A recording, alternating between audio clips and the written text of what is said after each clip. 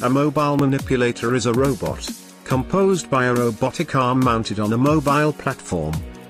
These robots are said to be redundant, because they have more degrees of freedom, than those strictly required to accomplish a certain task.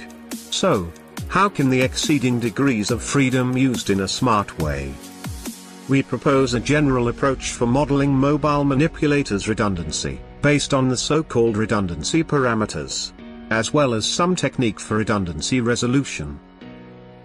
Thanks to our developments, while performing its primary industrial task, a mobile manipulator can avoid fixed and moving obstacles without interrupting its job. Minimize the mobile platform movements. Optimize the robotic arm dexterity, and avoid joint limits and singular configurations.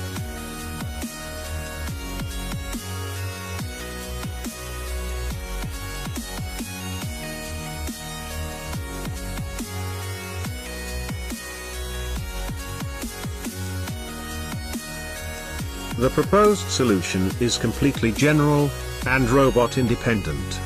It can be applied to any kind of mobile manipulators, even legged, humanoid or flying robots.